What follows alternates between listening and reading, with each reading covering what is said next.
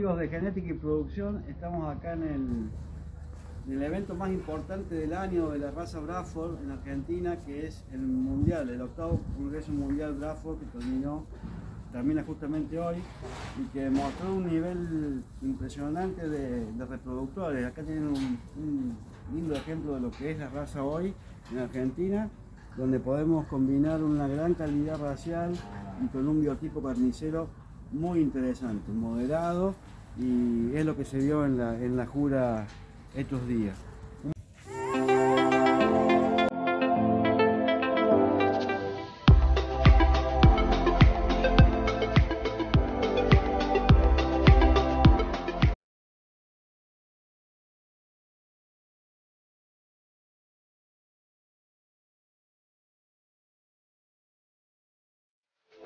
Amigos de Genética y Producción, estamos otra vez acá desde el Congreso Mundial Bradford y quiero mostrarles eh, un, reproductor, un macho que verdaderamente sintetiza todo lo que tenemos que buscar en la raza en la actualidad.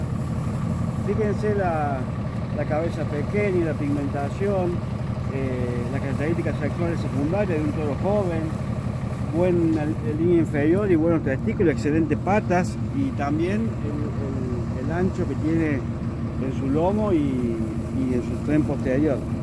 Estos son todos, eh, no es, nada es magia amigos, esto es producto de un gran trabajo de profesionales, gente de campo, como pueden ver cómo está dando de comer, con, con mucha pasión y entrega, compromiso, que sin eso no se puede lograr nada. En ningún emprendimiento, pero en ganadería es fundamental. La verdad que, bueno, justamente este reproductor que elegimos para hacer este video es de una cabaña muy reconocida que es Santirene de Ganagrín, con muchos años de trabajo y una trayectoria extraordinaria. Eh, quería mostrarles para que vean cuál es la actualidad de la raza Bradford acá en Argentina.